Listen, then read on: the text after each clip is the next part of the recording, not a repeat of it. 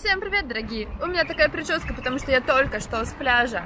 А это Игорь, и вы на канале Интересные путешествия. Это информационное видео для тех, кто собирается в Эмираты отдыхать в Дубае. Сейчас мы вам все по полочкам расскажем. Первая полочка будет, где бронировать отель, в каком месте. Я сразу скажу то, что мы бронировали отель, летели, летали в марте, бронировали отель за 40 тысяч рублей на двоих на 9 ночей на завтраках. Отель называется City Max Альбарша. At the mall. Находится он э, ровно напротив Mall of Emirates. Очень удобное местоположение. Ссылка, где мы берем туры по таким низким ценам, будет в описании. Можно взять тур не только в Эмираты, но и в любую другую страну. Там всегда есть низкие цены. Главное успеть поймать. Где же все-таки взять отель? Смотрите, основные места, где а, вообще все останавливаются, да, где берут отель, это Дубай Марина, это где мы сейчас записываем видео, а, здесь э, канал, здесь пляж э, есть очень хороший, здесь высотки, которые светятся веч- вечером, э, здесь как бы очень хорошее место. А если вы здесь берете отель, то в принципе как бы ценник будет не самый низкий, это абсолютно точно. Э, есть район даунтаун, это как бы тоже считается это другой центр Дубая, такой туристический. Это там, где Бурдж-Халифа, самое огромное здание, где поющие фонтаны. Э, между этими двумя местами, получается, между Дубай-Мариной и даунтаун, расстояние где-то на метро станции 9 приблизительно. Вот. И как бы вы можете либо там останавливаться, либо там, но это будет э, дороговато. Конечно, можно, кстати, урвать тур, найти, вот если реально там по ссылке искать монитор постоянно цены, можно найти. Есть район Дейра, который не очень благополучный. Туда добраться вообще нужно на двух ветках, через, через две ветки метро только. Э, ну, как бы не то, что проблематично, просто это будет более затратно, лучше переплатить тогда чуть-чуть и Да, да, взять сто процентов. получше себе местоположение отеля, потому что вы, ну, тупо на проезд будете тратить больше, потому что, в принципе, в Дейре, ну, там можно там где-то прогуляться, конечно, но и есть вот район Аль-Барша, в котором мы, а, да, есть еще там, есть. Да, районов-то бизнес, много, да. есть очень много районов. Э, В общем, рекомендация очень простая. Берите отель возле метро, и все, и точно не прогадаете. Метро здесь решает. Да. А по поводу Дубая Марины хочу сказать отдельно. Это такой дорогой район, это ну, бюджетно, тут перекусить как бы не получится, в отличие от Дейра. Если в Дейре вы на двоих перекусите где-то там рублей 700, например, то здесь умножаете на 2 или на 3 сразу смело. В общем, я думаю, вы уже немножко определились, в каком, в каком районе хотите остановиться. Скажу, э, в принципе, не беспокойтесь, если вы даже в Дейре возьмете, то до Дубай-Марина на метро вы будете ехать, ну, наверное, полчаса максимум. Так что переживать особо не стоит. Главное, рядом с метро. А второй пункт, так давайте разберем, как же все-таки передвигаться, перемещаться по Дубаю, да? Да, есть три варианта. Первый вариант автобус, второй вариант метро, третий вариант такси. Ну, четвертый можно тачку в аренду взять, но это уж... Есть еще пятый тогда, просто пешком. Навер- пешком- Не, пешком тут далеко не уйдете, потому что расстояния везде огромные. В общем, на автобусе и на метро это все одно и то же. Передвигаться с помощью карточки, покупаете карточку Silver. Покупайте в метро. Да, покупайте в метро. Есть и Silver, есть и Gold. Но вот я рекомендую, просто купите Silver карту, она стоит 25 дирхам, и 19 у вас уже на счету. И просто пополняйте ее в метро. Это все. Она сразу действует и на метро, и на автобус. Автобус, и да, на трамвай. И на трамвайчик Дубай-Марине. Вот, э, пользоваться очень просто. Приложили в начале, карточку она считала и э, приложили в конце, как будете выходить из метро, она вычла из вас ту сумму, которую вы прокатали. В автобусе действует вся та же схема. Метро очень простое, всего две ветки. Красная и зеленая. Э, скорее всего, вы будете кататься по красной, потому Красная, что на зеленая. Дубай-Марина, Бурж-Халифа все вот эти остановочки берет. Минимальная поездка на такси вам обойдется в 12 дирхам. А, умножаете по курсу, ну, получается сколько там? Я вам скажу, 250 рублей. ну да, примерно от Дубай-Марины до Бурж-Халифы примерно будет рублей где-то 2000, 2000. 2500, что-то около того. Так что, а на метро от Дубай-Марины до Бурж-Халифы в одну сторону на одного человека получается 5 дирхам, это 100 рублей. 100 рублей. Так что смотрите сами. То есть туда-обратно, получается, если на двоих, это 400, 400, да, а а если так на такси, пятерка, то- да. Цены в Дубае, тут туру тут Цены на продукты, например, в Дубае примерно в 2-3 раза дороже, чем в России. Смотрите сразу.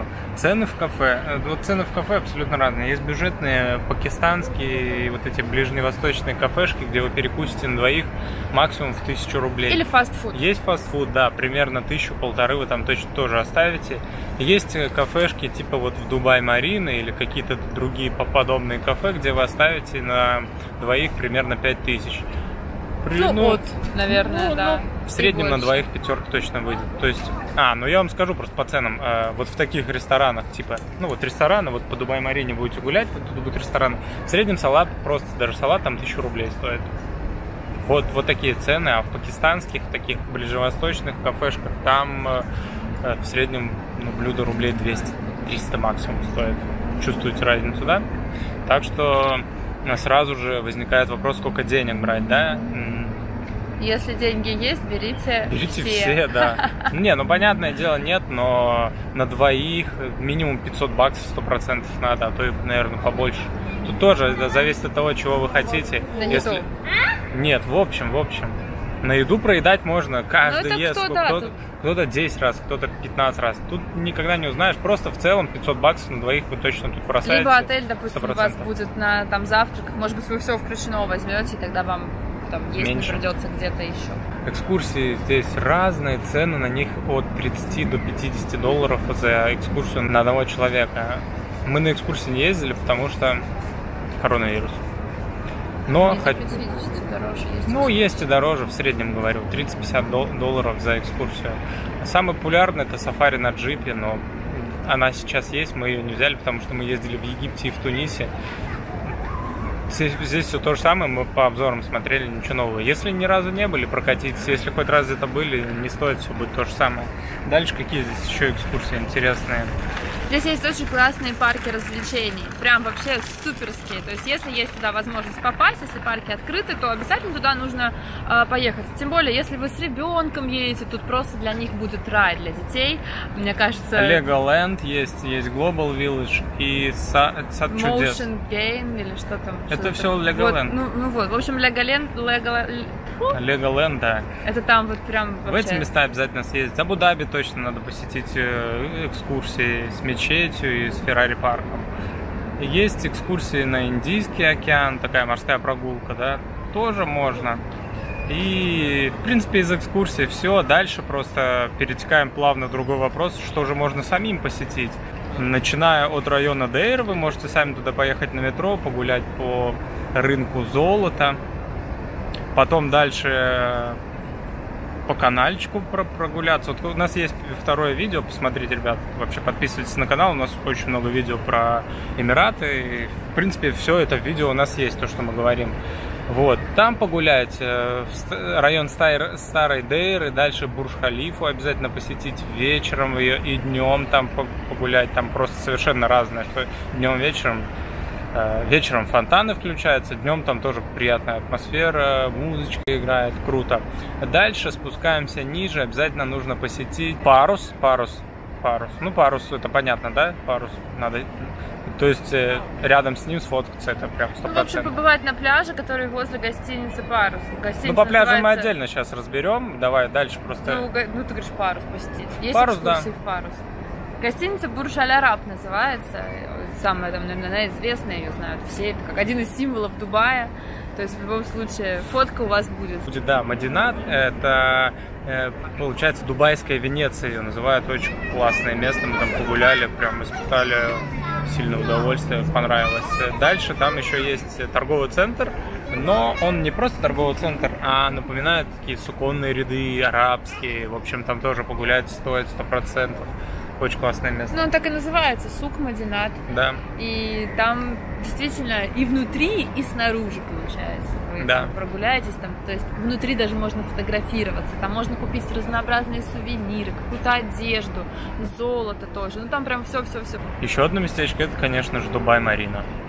Здесь просто нереально. Э, это самое, одно из самых крутых мест в Дубае. Просто первый раз, когда мы приехали, мы с собой брали нашатырный спирт, потому что в обморок падали от того, что здесь происходит. А отдельно зайдите еще на остров, вот этот, который будет э, напротив Дубай-Марин, называется Blue Water. Посмотрите, как, как как сделали остров и как его благоустроили, благоустроили для жизни. Все эти места вы можете сами посетить э, без экскурсий, просто на метро, на такси или на автобусе добраться вообще без проблем. Я, например, пользуюсь Google картами, он мне любой маршрут прокладывает, и где на какой автобус сесть, через сколько автобус придет, и, и метро то же самое очень удобно. По пляжам, да, давайте тогда начнем с Дубай-Марины. Дубай-Марина классный пляж, мне очень понравился, понравился своей атмосферой, тем, что здесь э, очень много людей, сует такая движуха, суета, классные фотки можно сделать с небоскребами. Э, в общем, пятерка пляжа, пятерка стопроцентная, потому что здесь атмосферно, круто, классно. А дальше следующий пляж, пляж возле паруса, называется, называется Джумейра Бич. Это самый худший пляж, на котором мы были. Э, хотя он самый популярный почему-то у русских, непонятно почему.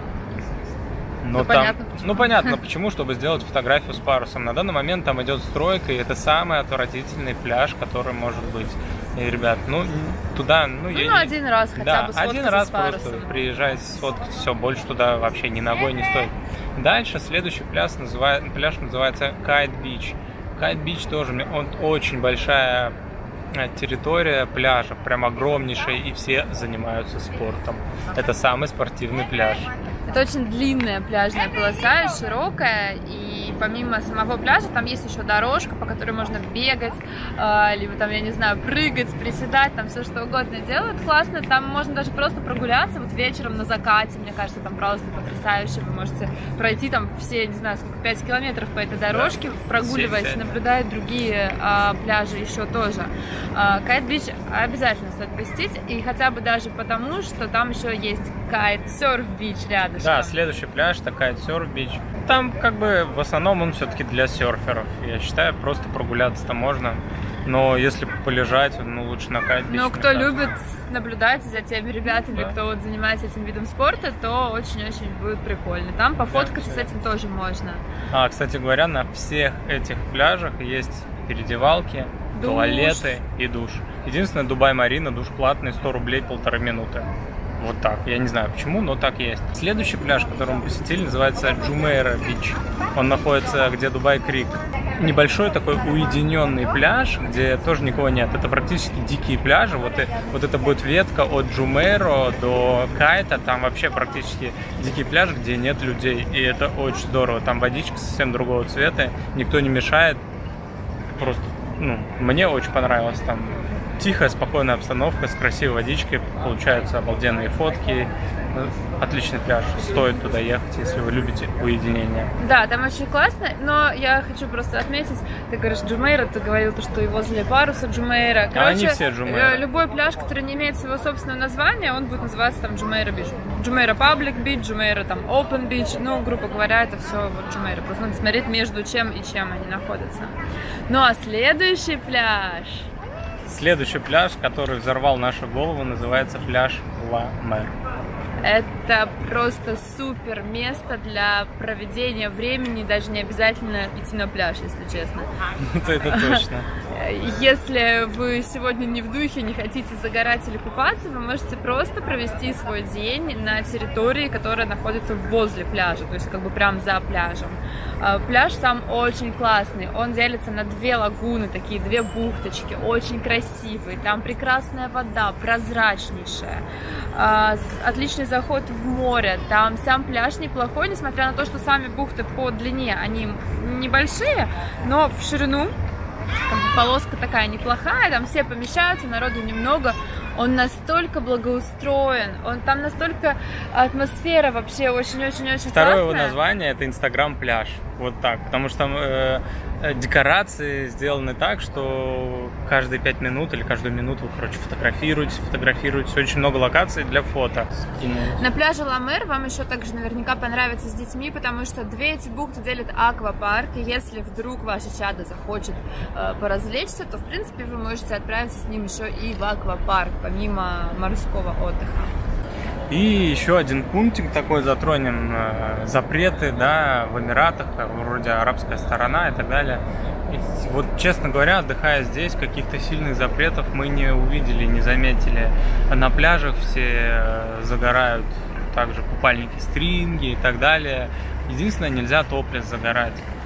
Дальше ну тоже... и в целом по городу даже, да, когда люди ходят. То есть я, когда сюда ехала, я, блин, читала, наверное, несколько дней, искала статьи, что с собой брать, Да, как в ходить. чем- в чем ходить? Я взяла с собой, блин, штаны, я взяла только одни шорты с собой, длинное платье, но фактически наблюдаю за всеми. Здесь отдыхает очень много европейских, э, европейских людей, и здесь отдыхает очень много русских людей. И все здесь ходят как бы, ну, как в Европе, как на любом Да. другом курорте, там шорты, Шорты- юбки. Шорты Понятно, самые- у вас не самые должна торчать вот так короткие. вот задница, не самые короткие, есть которые вот совсем. Такого нет, так, так здесь не одеваться, ну, просто там обычные шорты, обычная юбка, э, короткое платье, здесь это нормально. А арабы, они вообще никак не напрягаются от этого, им типа это вообще пофигу. Э, к- э, Как говорили раньше, то, что тут на вас могут смотреть вот такими выпученными глазами, или там полиция будет штрафовать. Ну, нет, здесь такого нет, здесь относятся все очень лояльно, но это что касается Дубая, потому что если в других Эмиратах, возможно, там м, такие какие-то будут другие правила, Да, но в Дубае Дубай, очень да. лояльно к этому относятся, поэтому вы можете себя чувствовать абсолютно комфортно. Что касается алкоголя, он здесь есть, он здесь продается. А проблема только одна. Цена. В кафе бутылка пива стоит 1000 рублей. 800-1000. В магазинах не продается. Есть специальные магазины алкоголя, честно говоря. Мы, Мы даже цены не узнавали, да. Ну, неинтересно. Мы, мы решили так. Если тут проблемы с алкоголем, мы просто не будем его пить. У нас такая Не критично, алкогольная да. пауза. Просто не пьем и бы- все. В общем, если будете пить алкоголь, берите с собой еще больше денег, потому что цены действительно высокие на алкоголь. А на этом, в принципе, все. Если есть еще какие-то вопросы, пишите, мы на все ответим. Все, вся информация. Всем пока. Пока.